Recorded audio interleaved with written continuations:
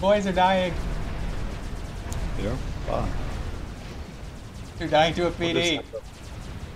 Ah. Why are there T2 mexes in your base dead? Oh, I guess because an enemy flew in.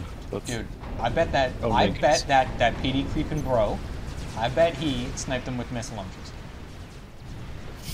they can do that. Well, I, I was using the missile launchers to try and snipe his point defense, right? Right, it's just I would expect it to be more damage.